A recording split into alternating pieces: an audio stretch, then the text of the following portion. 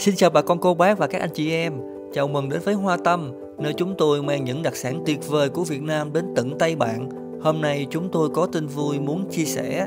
Bao ngày chờ đợi, các mặt hàng đặc sản của Việt Nam bao gồm gạo ST25, nước mắm nhĩ 40 độ đạm và các loại cá khô mộng nắng đã chính thức có mặt tại kho. Đây là các nhân viên Hoa Tâm đang khẩn trương mang phát những bao gạo ST25 từ container.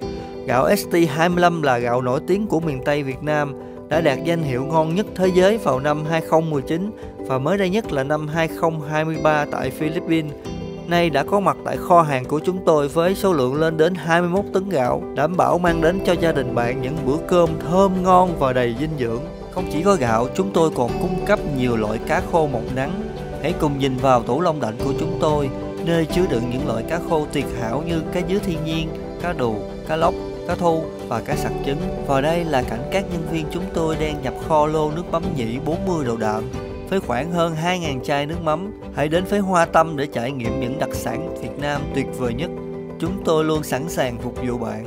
Liên hệ ngay hôm nay để đặt hàng.